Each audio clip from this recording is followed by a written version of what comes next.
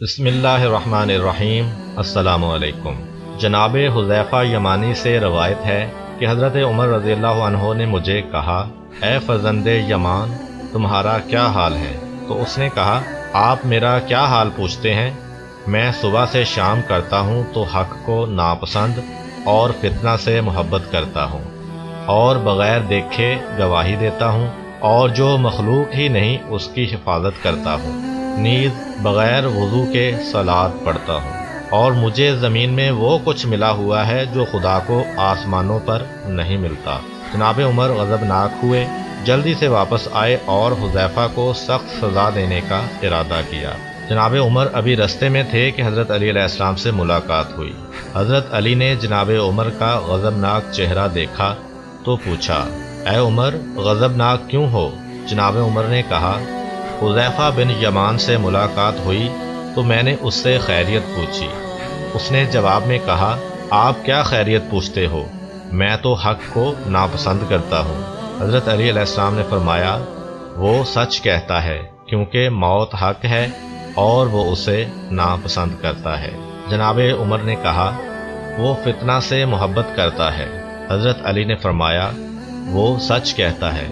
کیونکہ مال اور اولاد سے محبت کرتا ہے اور یہ فرمان خدا ہے کہ انما اموالکم و اولادکم فتنہ، تمہارے مال اور تمہاری اولادیں فتنہ ہے جناب عمر نے کہا، یا علی، وہ بنا دیکھے گواہی دینے کا کہتا ہے۔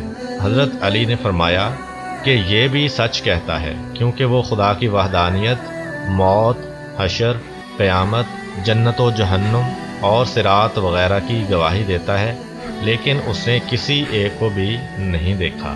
جناب عمر نے کہا، یا علی، اس نے تو یہ بھی کہا ہے کہ جو مخلوق ہی نہیں، میں اس کا محافظ ہوں۔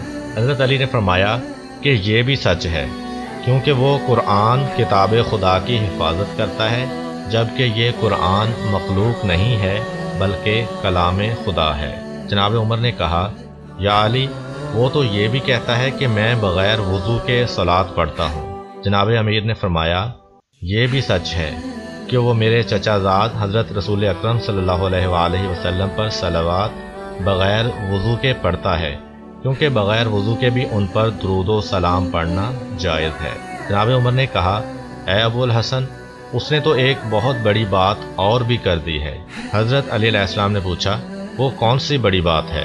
جناب عمر رضی اللہ عنہ نے کہا، وہ کہتا ہے کہ مجھے زمین پر وہ کچھ حاصل ہے جو آسمانوں پر خدا کو حاصل نہیں۔ حضرت علی علیہ السلام نے فرمایا، یہ بھی سچ ہے، کیونکہ اس کی بیوی ہے، اولاد ہے، خاندان ہے، لیکن خدا کی نہ بیوی، نہ اولاد، نہ خاندان ہے۔ وہ لم یلد و لم یولد ہے۔ جناب عمر نے کہا، ابن الخطاب عن قریب ہلاک ہو جاتا اگر علی نہ ہوتے۔ امید کرتا ہوں کہ آپ کو آج کی ویڈیو پسند آئی ہوگی۔ اگر آپ کو ہماری ویڈیو پسند آئی ہے تو ویڈیو کو لائک کریں اور دوسروں کے ساتھ شیئر بھی کریں۔